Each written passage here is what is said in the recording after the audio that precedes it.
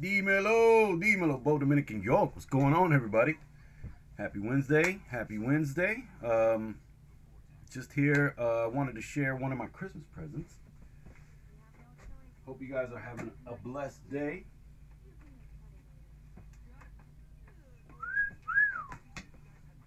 I already switched out the laces on these mugs.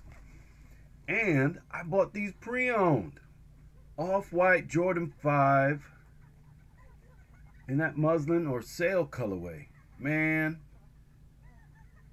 thank you to my wife for hooking this up. These are beautiful. I thought I filmed these the other day, didn't I? Did I not post it? Oh my God. Look at that.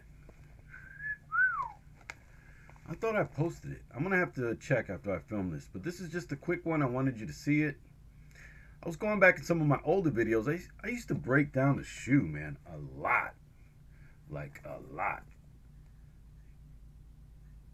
I don't know. Kind of lazy just showing off the shoes these days. Joints are nice. But, um, yeah, I switched out the laces already. These joints are magnificent. I wanted to make sure I uh, filmed them again because I do want to rock them like ASAP. I'm to rock them this week. Definitely on DS and, oh, or they're not DS, but gosh.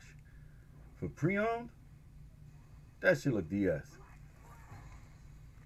That should look DS.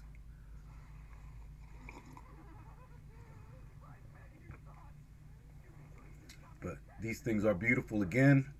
Just wanted to share it. I think I already did, but it's all gravy. Look at them joints, baby. I'll be getting with you guys soon when this camera gets in focus, hopefully. Let me zoom out, come back in.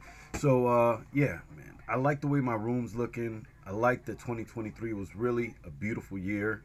A lot of things went wrong. We were able to roll with the roll with the punches, man. We were able to roll with the punches. Ended off with a bang.